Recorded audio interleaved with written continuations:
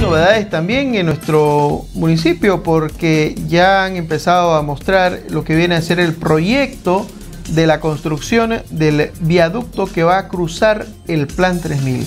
La construcción del viaducto del Plan 3000 del Distrito Municipal número 8 tendrá una longitud de 530, 530 eh, metros. Este es, mire, se lo estamos mostrando en la página de Facebook, las personas que nos están siguiendo. El costo aproximado es de 42.752.723 bolivianos. Esta es la obra que se va a construir en la rotonda del Plan 3000. Los barrios que se beneficiarán son el barrio Johnny Fernández, el barrio Villa Unión, el barrio Villa Gladys, el barrio Bolívar, barrio 8 de diciembre, el barrio municipal, barrio Los Mineros, el barrio San Martín, el barrio Mauro Bertero, el barrio Internacional y el barrio Terrado.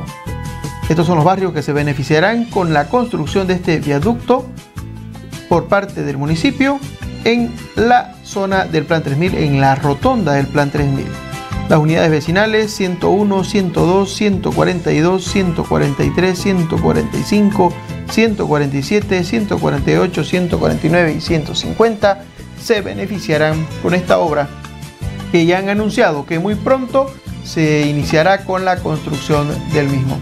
Cruzará por encima de la rotonda del Plan 3000, es lo que nos ha indicado, según la planificación que tiene. Mayores detalles vamos a estar buscando con las personas de la alcaldía para que nos den eh, información concreta de cuándo se inicia esta obra y van a también han anunciado que de alguna manera durante la obra que aproximadamente son seis meses la obra eh, se cerrarán muchas vías alrededor de la rotonda del Plan 3000 y se habilitarán algunas alternas para que puedan circular los vehículos de transporte público como también los vehículos particulares.